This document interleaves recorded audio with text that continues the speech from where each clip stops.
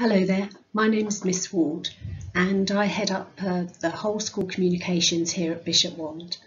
I also am second in English and teach across all key stages including A-level.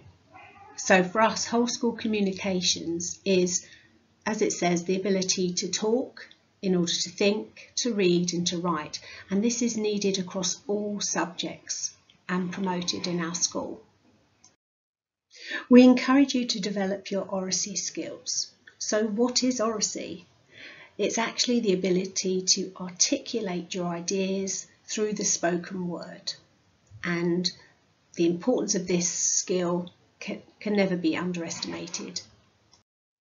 So I've put together some summer tasks for you to work on to develop your communication skills. The first one is thinking in terms of how you're feeling about joining Bishop Wand in September.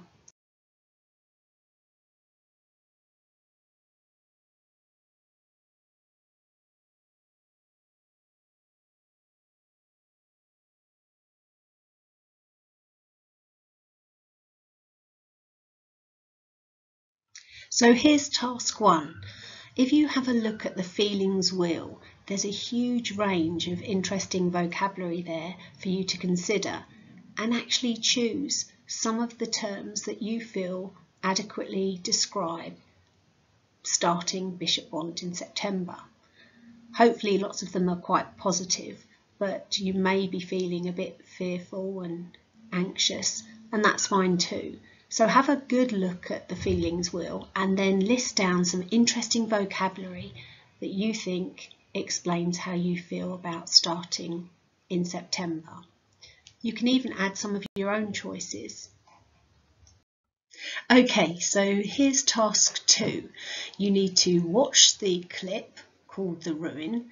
It's about eight and a half minutes long and set in a post apocalyptic landscape of derelict buildings which are slowly being taken over by futuristic flora and fauna.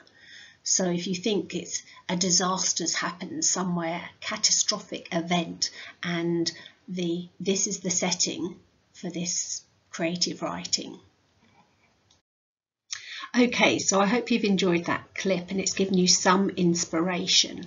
Lots of unanswered questions there.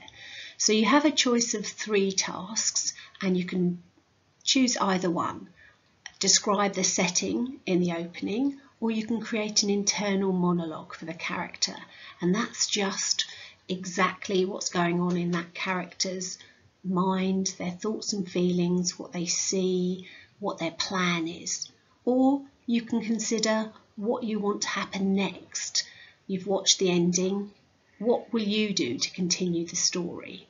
It's totally up to you, but try and make this your best piece of creative writing. Um, handwritten, preferably, with paragraphs and varied sentences and some really interesting creative pieces.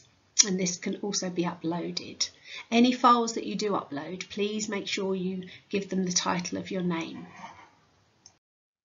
Okay, so some final thoughts.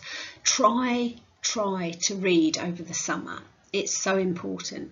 Um, perhaps keep a log of interesting stories, and that can be both fiction or non-fiction. And as Dr. Seuss says, the more that you read, the more things you will know, the more you learn, the more places you'll go. These tasks are for the staff to get to know you because we missed you on the induction day, but they're meant to be fun and please don't worry, just do what you can. Enjoy the summer break and we'll see you in person in September.